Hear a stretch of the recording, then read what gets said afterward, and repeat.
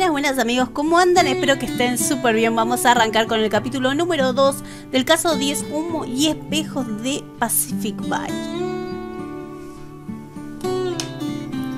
Dios mío, hemos estado cazando al asesino de Vanessa por todo el bayou. Y después Hannah nos envía a una mansión porque está convencida de que se trata de un burdel, pero está en llamas. Estoy de acuerdo, el asesino sabía que vendríamos. Ha encendido este burdel antes de que llegáramos. Esto demuestra que Hannah tenía razón. Vanessa y las chicas desaparecidas trabajaban en este burdel. Eh, tienes razón. Más vale que deje de hablar antes de que el fuego lo destruya todo. ¿Nos enfrentamos a las llamas?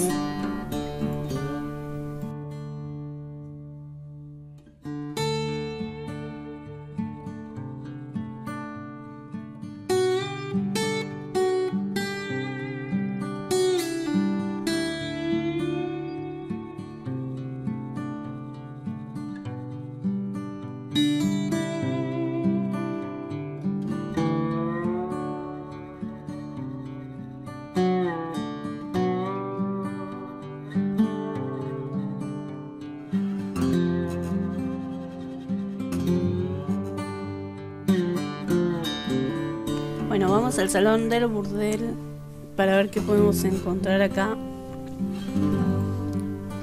Uf, literal, está todo prendido fuego. Dame fuego, dame, dame fuego. Reloj. Media, bragas. Oh, unos calzones. Mm, candelabro, esposas. Ultrasonido. Ah, es una pista. Mm, parece que va a ser re fuerte este caso, chico. Pipa, gato. Ah, el gatito tranquilo entre medio de todo el fuego. Eh, pipa. ¿Dónde está? No la veo. Frasco, pintura rota. Bueno, pintura rota. Pintura destrozada. Frasco. No encuentro nada.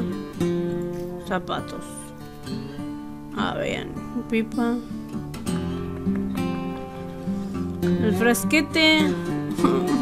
No veo dónde está. Y odio, odio cuando me pasa esto. Acá está la pipa. Maldita bastardita. No puede ser.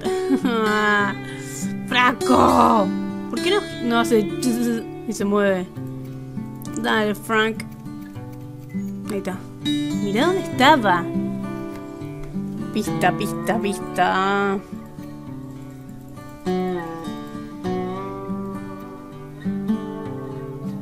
Uf, por un momento pensé que íbamos a terminar como barbacoa. Estoy segura de que el asesino no quería que investigáramos este lugar. ¿Encontraste un frasco de propinas? Sí, obviamente no soy una experta, pero ¿no te parece extraño encontrar algo así en un burdel? Vaya, piensas lo mismo. Así es, hay un logotipo desteñido en el frasco. ¿Crees que puedas recuperarlo? ¿Encontraste un ultrasonido prenatal? Bueno, eso sí que está fuera de lugar en un burdel. Qué buen ojo tiene Floren. Esa serie de números en la parte de arriba del ultrasonido podría indicarnos a quién pertenecía, pero no sé cómo averiguarlo. ¿Y tú? Veo que también recogiste esta pintura rota. ¿Quieres restaurarla? Me encanta que nunca dejas nada al azar.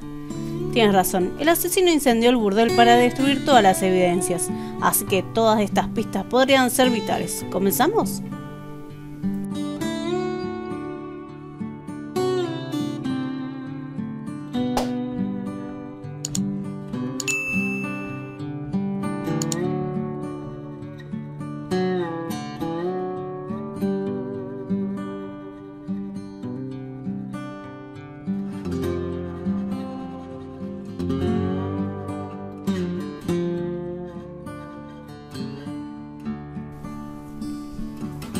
Bien hecho, conseguiste restaurar la tinta desvanecida del frasco de propinas que encontraste en el burdel y viene del bar Mad Cow. Exacto, ese es el, nego el negocio de Betty Lou. Sabemos que Vanessa renunció hace poco a su trabajo con Betty Lou. ¿Crees que ella se robó el frasco de propinas cuando se fue? Betty Lou ya tenía resentimientos contra Vanessa, pero tal vez esto la llevó al límite. Buen punto, tenemos que hablar con ella, pero podría ser tú quien lo haga. Esa mujer me da miedo.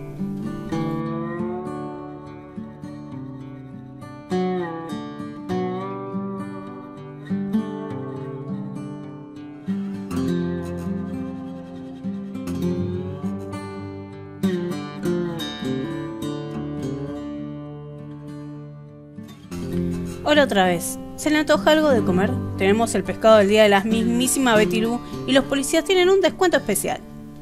Solo se nos antoja la verdad, Betty Lou. Fran encontró el frasco de propinas de su bar en el burdel donde trabajaba Vanessa y nos gustaría saber por qué. Vanessa se robó mi frasco de propinas. Le di trabajo y así me lo agradeció.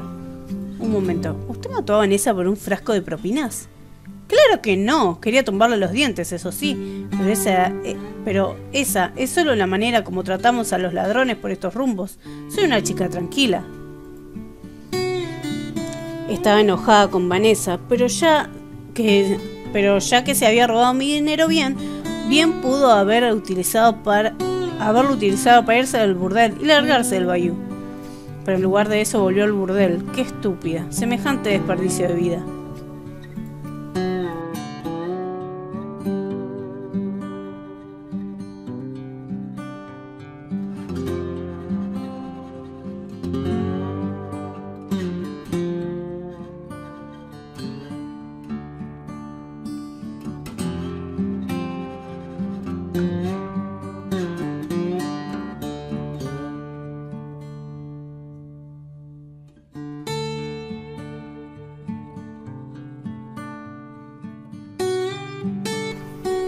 Buen trabajo. Consiste en cifrar los números del ultrasonido prenatal que encontraste en el burdel.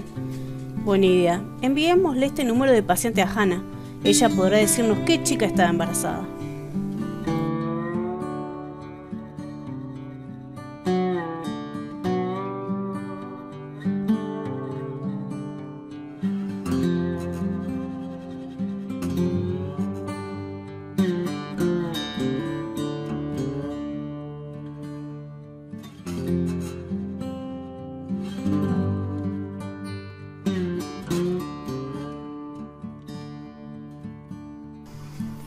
Has hecho un gran trabajo restaurando la pintura que encontraste en el burdel, Floreni. ¿Ese es un retrato de Erika Magallo? No lo entiendo. ¿Por qué tendría un burdel el retrato de una reina de vudú? Aquí hay algo mal. Es verdad, tal vez sus encantos funcionen con Frank, pero no con nosotros. Vayamos a ver a esta bruja y tengamos cuidado con sus trucos.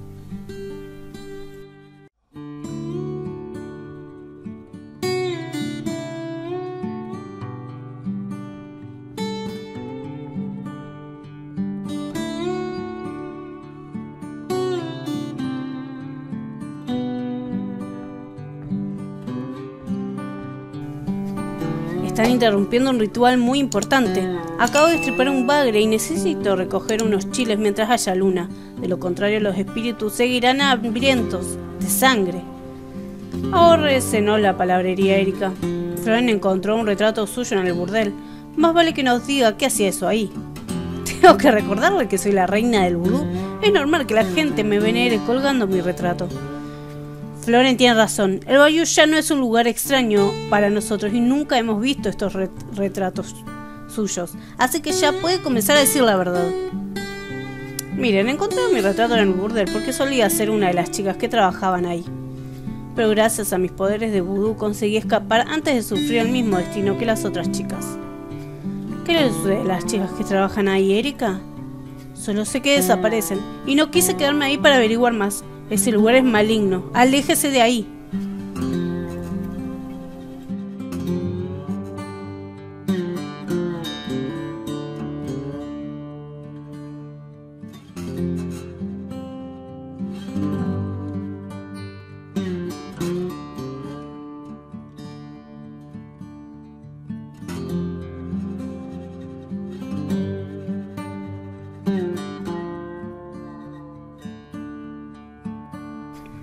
Revisé el número de paciente del ultrasonido que encontraste en el burdel, pero resulta que pertenece a la víctima.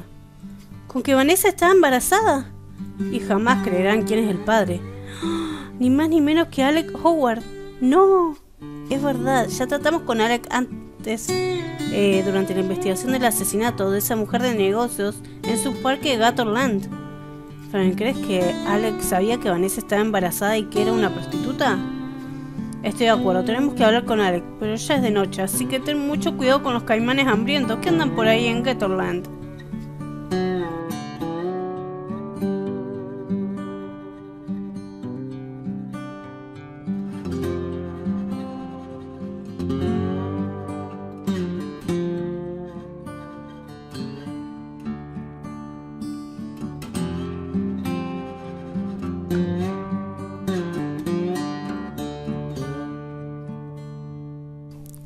Señor Howard Flynn descubrió que Vanessa Kimmel estaba esperando un hijo suyo y... ¡Ay! La amaba tanto. Era salvaje como el bayou, mágica como una aparición vudú y picante como la comida que me encanta y de la nada mi princesa se ha ido. Siento preguntarle esto, pero ¿sabía usted que ella eh, trabajaba en un burdel? Todos hemos hecho cosas que no nos enorgullecen y su pasado era solo suyo. A mí solo me importaba nuestro futuro juntos. Íbamos a construir una familia pero ella no era la misma últimamente. Estaba preocupada por algo, pero en lugar de hablarlo conmigo prefirió irse a esconder en un árbol.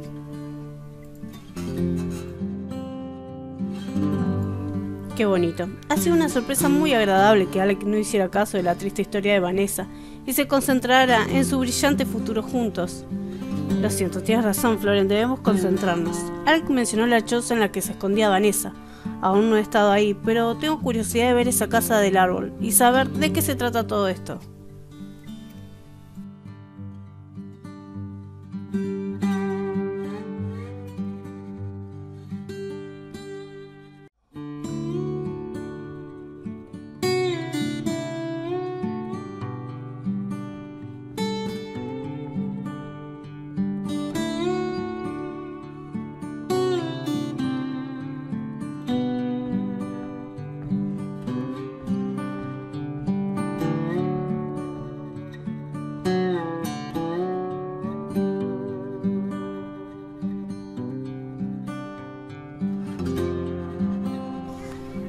Camino a la casa del árbol a ver qué pistas podemos encontrar. Ay, este caso es muy muy triste, sinceramente. Póster de jazz, esqueleto. Bueno, pantalones, partituras, búho. ¿Dónde está el buito? Sombrero de copa, velas, esqueleto está acá. Pala. Acá.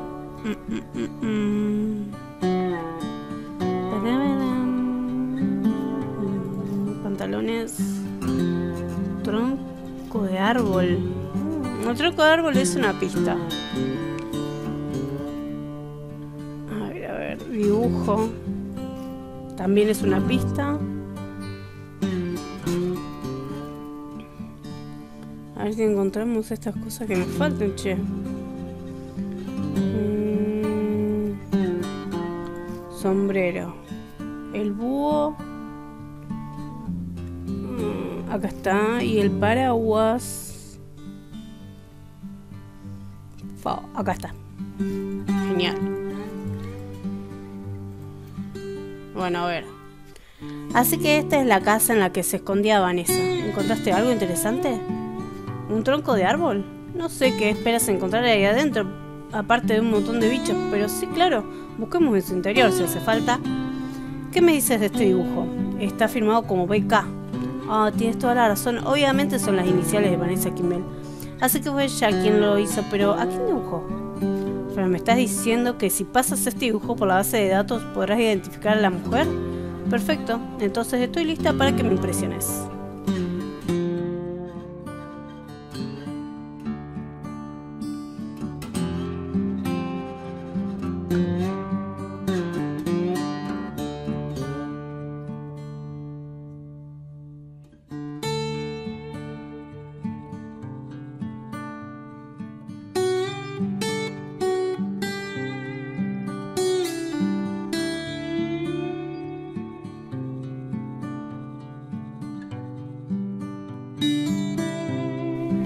Guácala, ¿encontraste una sanguijuela en el tronco? Oh, aleja ese monstruo chupasangre de mí. Es una buena idea, envíasela allá. Estará mejor allá que aquí.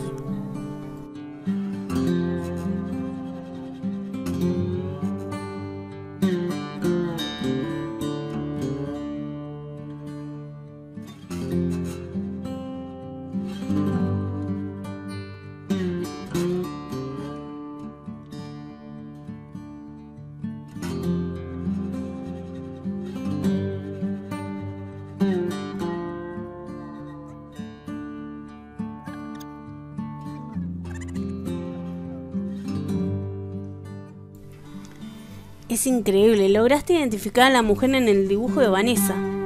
Sharon Kimmel. Ay, tienes razón, Fran, debe ser la madre de Vanessa. Con razón se parecen tanto. Lo sé, no va a ser fácil, pero tenemos que hablar con Sharon acerca de la muerte de su hija.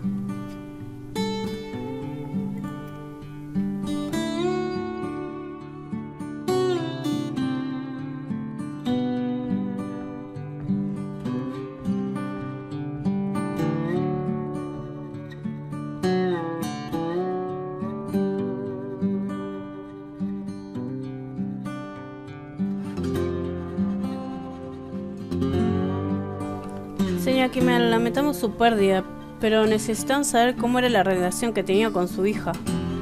A pesar de ser su mamá, esa niña me odiaba desde el día que nació. Toda su vida me despreció por no ser capaz de ofrecerle una vida mejor, más cómoda. Vamos, me odiaba más, me odiaba aún más que a la comida picante que todos comemos por estos rumbos. Escuché rumores de que mi hija trabajaba en un burdel.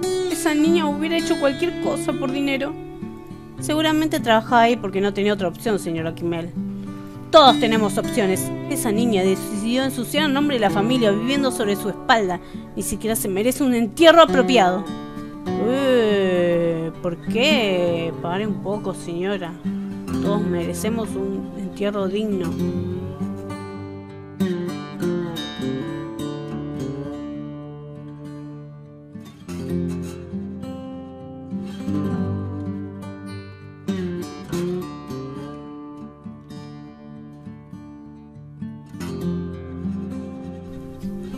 Analicé la hermosa sanguijuela que encontraste en el tronco de árbol cerca de la choza. Hermosa y sanguijuela son dos palabras que jamás deberían ir juntas en la misma frase, Jan.